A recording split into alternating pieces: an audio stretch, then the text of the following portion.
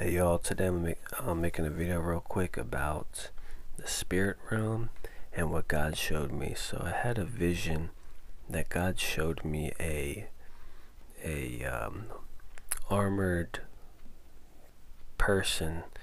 It was the it was like the upper body and the the mask. God wanted me to add also that something about Shrek, how it kind of looked like Shrek, the um the body like the armor part.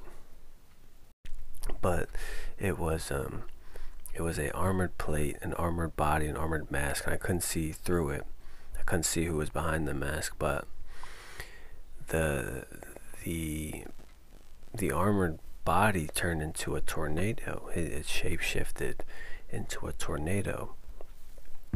And I was reading the Bible. It was um, Hosea 4, um, 17 to 19 or 16 to 19 and it's it reads the Israelites are stubborn like a stubborn heifer. How then can the Lord pasture them like lambs in a meadow? Ephraim is joined to idols. Leave him alone. Even when their drinks are gone they continue their prostitution.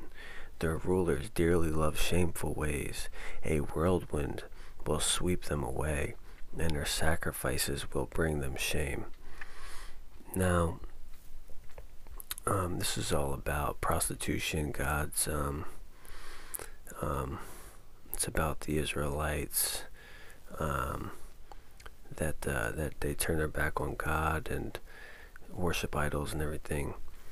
But this the the verse that stuck out to me was a whirlwind will sweep them away, and the and God brought this vision that I had. This vision is about a couple days old.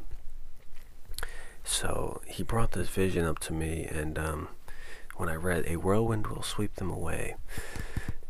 And what I realized is that there's a spirit realm. I mean, I already knew that because God showed that to me, right? But but with this vision, it's like he allowed me to see the spirit realm, and the spirit realm is much more in my like I think in my like in my opinion it's more real.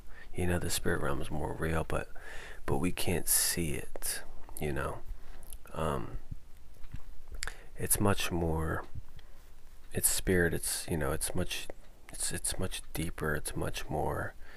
Um, I don't know how to describe it, but but based on that vision, um, it made me realize that when God says something, it happens in the spirit realm. And I, I've heard people say this before, other Christians on YouTube, that that things happen in the spirit realm first, right? And when I and so basically when you speak and you and you say things and you and you pray and you um and you fast and you do these things, um, they happen in the spirit realm first, and and God, um, you know, he he's in control of everything. He he releases things in, in the spirit realm before the physical. So if you're praying and, and, and you're and you're and you're and you're waiting for God to answer your prayers, you know, they've already been released in the spirit realm that we cannot see. But that's why we have to have faith.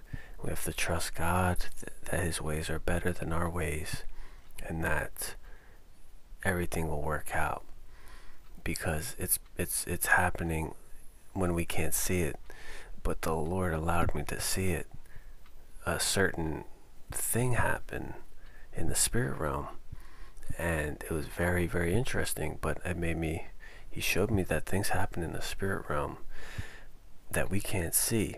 So when we pray, there's things happening. You know, his his word is sharper than any two-edged sword. So when we have faith and believe, even if it's small as a mustard seed, things are happening in the spirit realm before and while you're praying and before, you know, it even touches the physical, which is pretty amazing. Um, pretty amazing.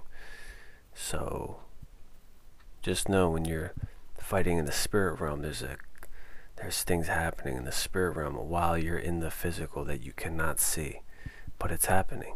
So be wise with your prayers. God bless you. And I'm out. Peace.